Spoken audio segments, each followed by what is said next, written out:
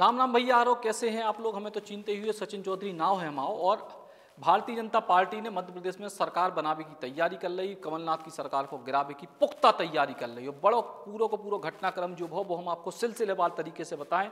सबसे पहले आप आज को घटनाक्रम देखो कि आज भारतीय जनता पार्टी के नेता प्रतिपक्ष गोपाल भार्गव, जो विधानसभा में है, पूर्व मुख्यमंत्री शिवराज सिंह चौहान समेत तमाम बड़े नेता पहुँचे।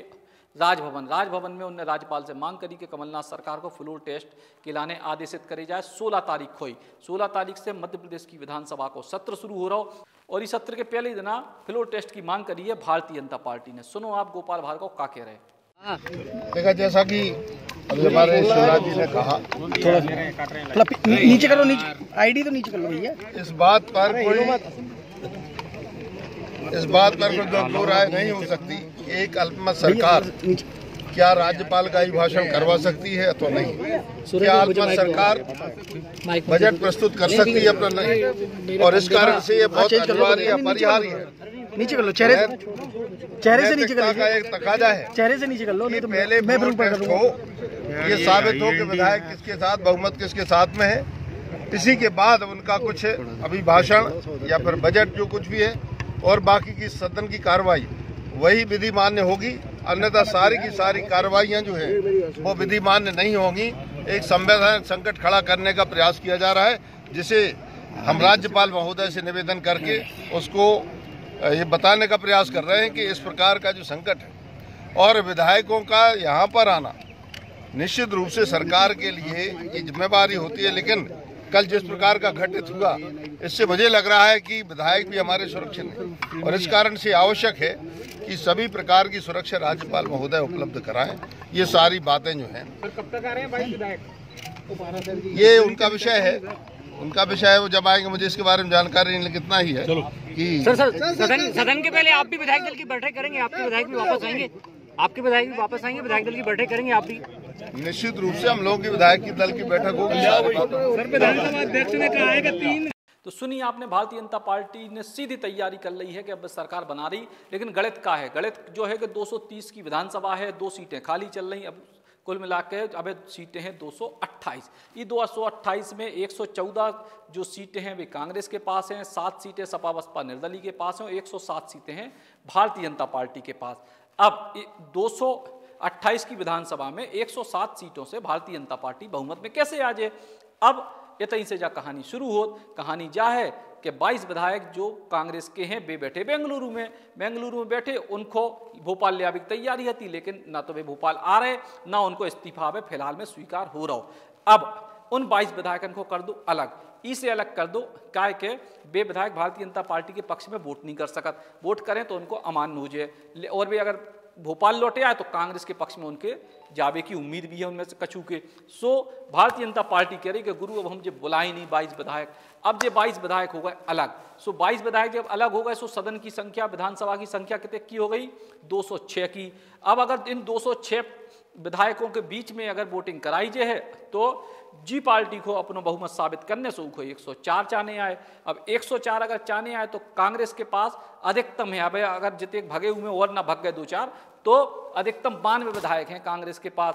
और वो बानवे के संगे संगे सात विधायक, अब मान लो, हालाँकि उनकी भी कुछ गारंटी नहीं है, लेकिन मान लो कि निर्दलीय सपा बसपा भी कांग्रेस के संगे ठाड़े हो जाएँ तो सदन की संख्या जो कुल 206 की है उनमें कांग्रेस के पास है निन्यानवे विधायक और भारतीय जनता पार्टी के पास हैं 107 विधायक।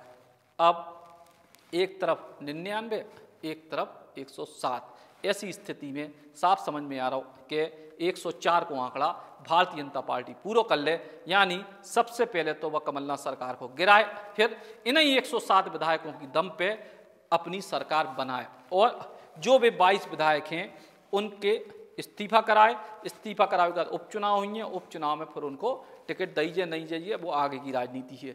लेकिन फ़िलहाल की स्थिति में बिना बहुमत की पूरा बड़ो, पूरी विधानसभा को जो बहुमत है 116 को, बिना उको पाए भी भारतीय जनता पार्टी कमलनाथ सरकार को गिरावे की तैयारी में है और इसके अलावा अपनी सरकार बनावे की तैयारी में है। जो पूरा गणित भारतीय जनता पार्टी ने सेट कर लो और एक ही आधार पे अब 16 तारीख की उन्हें मांग करी। अब राज्यपाल 16 17 18 कब मौका दे या विधानसभा अध्यक्ष कब मौका दे, वो एक अलग विषय है। लेकिन भारतीय जनता पार्टी की पुख्ता तैयारी यह है कि बेंगलुरु के विधायक जब तक कमलनाथ की सरकार नहीं गिर रही, तब तक भोपाल नहीं लौट रहे। कम से कम भारतीय जनता पार्टी ने तैयारी कर ली।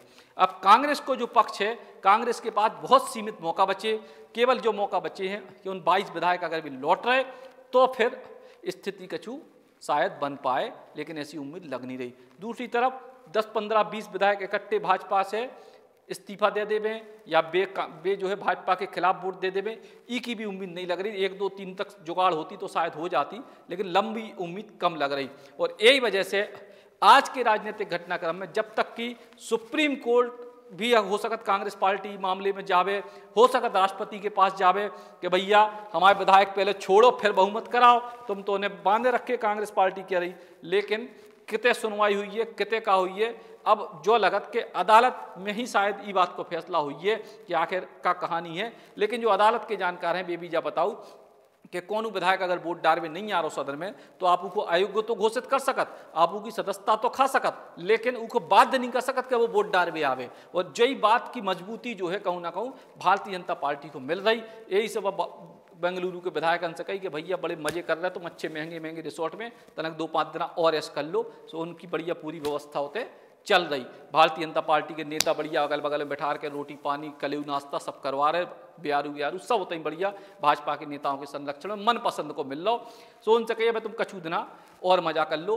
कमलनाथ सरकार कोशिश जा कर रही कि या तो विधानसभा को सत्र तक खिसक जावे, या फिर ये विधायक लौटे आवे। नहीं तो सुप्रीम कोर्ट कछु गाइडलाइन दे देवे कि भैया सबरे विधायकन को सदन में लिया फिर वोटिंग कराओ। कमलनाथ सरकार के पास केवल कानूनी विकल्प हैं। सदन के अधिकतम जो विकल्प हैं, वे भारतीय जनता पार्टी के पक्ष में है और भारतीय जनता पार्टी वही आधार पर अब कमलनाथ सरकार को गिरा के अपनी सरकार बनावे की कोशिश में है। जो पूरा को पूरा घटनाक्रम है, विस्तार से हमने आपको बताओ।